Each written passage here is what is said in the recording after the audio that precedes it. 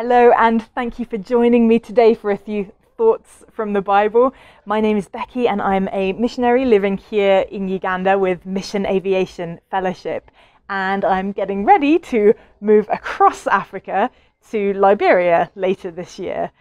Now, one thing I'm always keen to be in these videos is just completely honest with you. You know, I think when you only see a snapshot of somebody's life and it's primarily in encouraging messages from the Bible, it's really easy to think that they have it all together all of the time. Well, not too long ago, I had a, a really tough few days and I found myself feeling quite far away from God. I don't know if you've ever experienced that, if you've ever had a day where you've just felt, where is God in my life right now?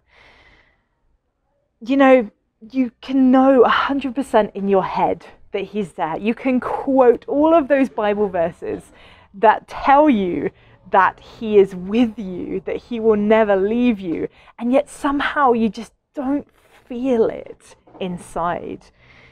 In the holiday week that my husband Dave and I had just this last week, we, uh, we spent a few days to start sorting through some of the things in our house and to start packing up a few boxes to send on ahead of us to Liberia. So we'll have a, a few things there when we get there later in the year. And I think as we were doing that organizing and packing process, it suddenly hit me like a ton of bricks we're actually doing this, aren't we? We are actually moving to Liberia. We are crossing a continent in the middle of a pandemic. This is pretty big. And there are going to be lots of challenges in the months ahead as we get ready to leave and then actually move. Just for a moment there, I found myself feeling completely alone and utterly overwhelmed and asking, Why have you told us to do this, God? Where are you in this process? But God is always, always speaking to us, isn't He? And who will use any opportunity to teach us, to let us know more about His character and His nature, to draw us closer to Him. And I found myself reading a verse in Deuteronomy chapter 2 and verse 7, which says this for the Lord your God has blessed you in everything you have done. He has watched your every step through this great wilderness. During these 40 years, the Lord your God has been with you, and you have lacked nothing. Now, if you don't know this story about the Israelites, they basically had walked up to the border of their promised land, this good land that God had told them was going to be theirs, and they had said, Nope, this looks way too hard, God. You should just have left us in slavery in Egypt because that would be better than trying to do this thing that you are telling us to do right here.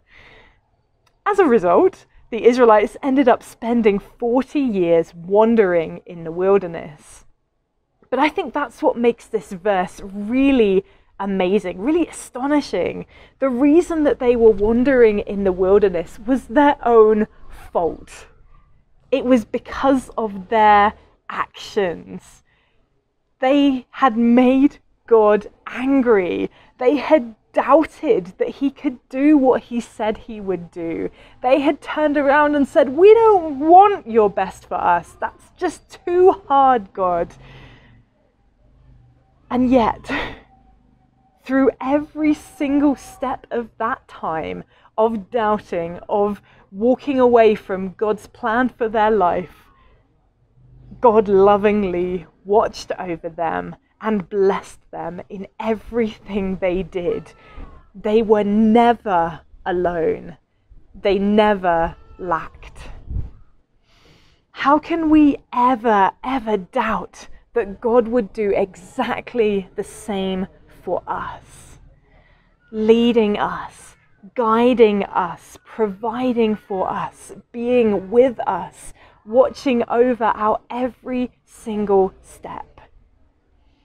You know, wilderness situations are a pretty common part of life, and I think at some point we all find ourselves in one. Times of trial, times where we do have that feeling of where on earth is God in this situation? Why is this so hard? Why do I feel so alone right now? It's so important to remember that even when we face those situations, even when we feel those things, God is still with us.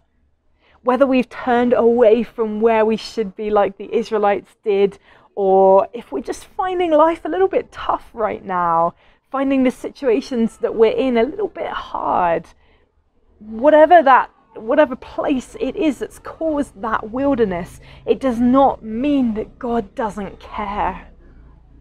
He is watching your every step. He is walking beside you. He is meeting your needs, even if you're not aware of it. I know it because the Bible says so. In Philippians chapter 4, verse 19, it says, My God will meet all your needs according to the riches of his glory in Christ Jesus. The same God who watched over the Israelites as they wandered is the same God who will meet your needs today. If you're feeling alone, if you're feeling abandoned, if you're feeling that it's just all too much right now and you don't know how to cope, then remember that promise. You are not alone. You will never be alone. You may not see it, you may not feel it, but God is with you right now and He is not going anywhere. Thank you so much for joining me for this thought from the Bible today. I'll be back on Monday with another video, so I will see you then.